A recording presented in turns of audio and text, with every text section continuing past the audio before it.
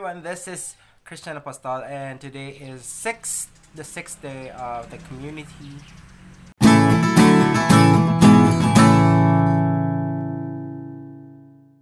Enhanced community quarantine. At sana okay lang kayong lahat so far at sana hindi kayo nagkakasakit or sana hindi may walang sakit yung pamilya nyo or sana may trabaho pa rin kayo kahit naka work from home kayo or sana may option kayo to work from home para wala kayong sakit. So, ayun. Anyway, uh, sixth day na today. Uh, I still go to work. Meron pa rin akong trabaho. Pero, um, bored ako ngayon kasi, alam mo yun, walang pasok. Day off ko. Bakit? Hindi ba pwede mag-day off?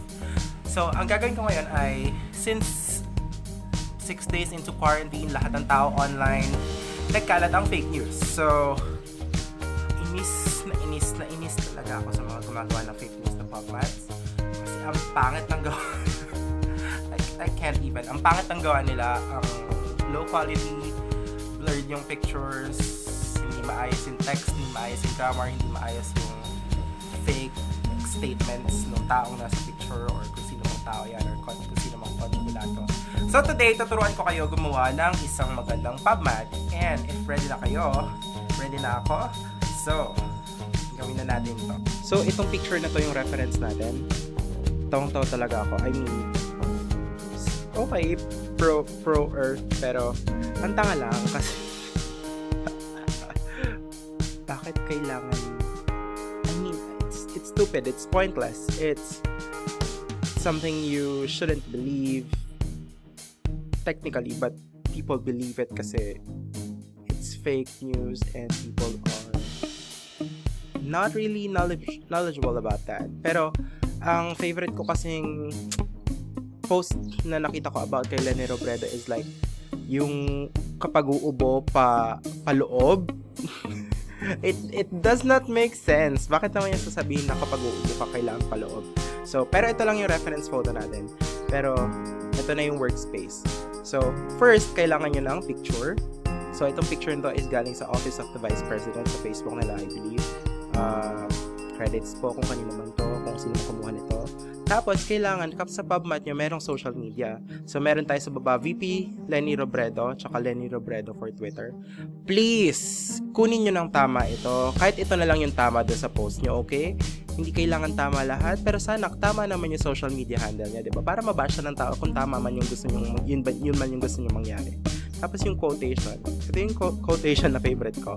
Kapag uubo po tayo, siguraduhin, siguraduhin pahigop para hindi tayo makahawa ng ating kapwa. Please, ayusin nyo yung grammar, grammar, text, composition, punctuations. Please lang. Kung gagawa kayo ng fake news, ayusin nyo. Gawin nyo kapag di paniwala. Tapos, syempre, lastly, is yung source. Kanino ba galing? Kay Lenny Robredo. So, kailangan, nandiyan yung pangalan niya. Tapos, kailangan Vice President of the Philippines para bongga. Tapos, kailangan ilagay niya din kung anong date uh, ginawa or anong date niya sinabi. So, for example, this one, kunwari sabihin natin na sinabi niya to March 22, which is today. So, yun. Kailangan ganito kaayos. Hindi katulad nung kanina, ba Ang pangit. Ang tanga lang. Ang tanga na nga. Ang pangit pa. I mean, hello?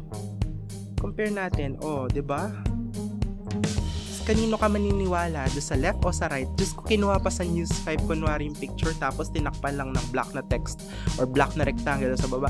Pag ganitong gagawa kayo ng fake news, just ko siguraduhin nyo naman na maayos. Siguraduhin nyo naman na um, credible looking siya.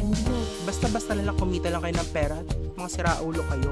Paghirapan nyo din, kasi naghihirap din kami ng normal na Pilipina na nagbabayad ng tax para dyan sa gobyernong yan. Tapos hindi nyo aayusin yung trabaho nyo. Ano ba yan? Well, yun. Oh well. Ganun talaga ang buhay dahil fake news, madaling pera. So, control ka ngayon. Sana ayusin mo yung trabaho mo. Hindi yung putyo-putyo, bara-bara. Mag-aral kayo mag-photoshop. Please lang. Huwag yung PowerPoint, PowerPoint lang. Nakakatanga yun ayusin yung pagtatrabaho nyo kasi nagtatrabaho din kami maayos para magbayad ng tax eh. Ayusin nyo, hindi yung ganyan na fake news, fake news lang. Anyway, ayun, this is the video for today. Sana nag-enjoy kayo and I hope to see you next time. Bye!